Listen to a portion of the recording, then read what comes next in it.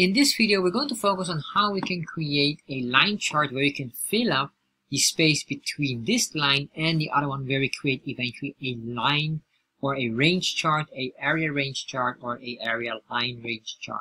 So let's start to explore how we can make this. In this video, we're going to focus on how to create a range area line chart in Chart.js. And this question came from one of my other videos about how to create a cumulative sum data point values from the stack bar chart. And in here, if you scroll down, you will see this question came from Rafael Gomes. A special thank you to Rafael for asking the question, and this is what Rafael asked. How to create a range area and line chart in Chart.js. So to do this, we're going to get our default code. So make sure you go to chartjs, uh, chartjs3.com, getting started, or this specific link here, we're going to grab the default code. For some reason, I get my error here on Google Chrome, but on Firefox, it does work. Anyway, what we want to do here is just to copy this chunk of code. And once you copy this, and if you want to understand what this code does, please watch this specific video here. We're going to paste this in here. Once I paste it in here, I'm going to cut out the line for the title here, put the title in there, Save this, refresh, and there we are. So now we have a bar chart, and what we want to do now is to convert this into a line chart.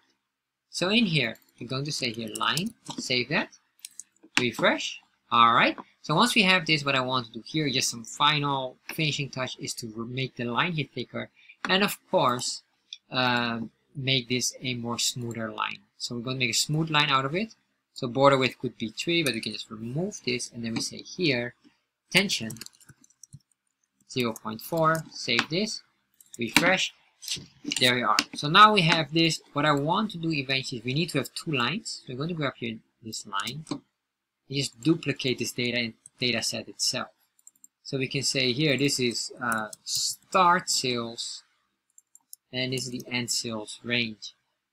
And what we're going to do is just for the colors we can just basically copy one specific color put in there put in there Make sure you have a comma and comma. Background color, border color will be solid 1. And I can just duplicate this in here. So to paste this in here.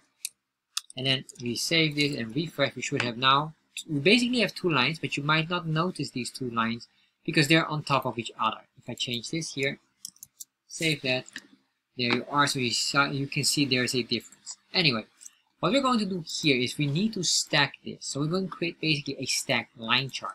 So we say here stack on the y-axis and we say this equals true, comma, and save this. And once we save it, save this and refresh, you can see now we get the stacked lines here. So these are basically stacked on each other. 9 and then this one is 18 here. And these two together makes about 27 and you can see here there should be here 27. So what we want to do now is to fill up this item here. So we say here comma and we can say here fill and we put in here number one. Once we do this, put a comma here as well, we say fill equals one, save that, refresh, and there we are. So with this, we are now basically creating a range between these two items here, which is the starting and the ending range here. And the fill here will indicate eventually uh, the layers of it, which one will be first, which will be second, etc., etc. And this is basically how you can create a very simple range chart with your line chart. If you enjoyed this video and maybe you want to learn another type of range chart, which is the how to create the range bar chart in Chart.js, you can watch this specific video here that covers this topic.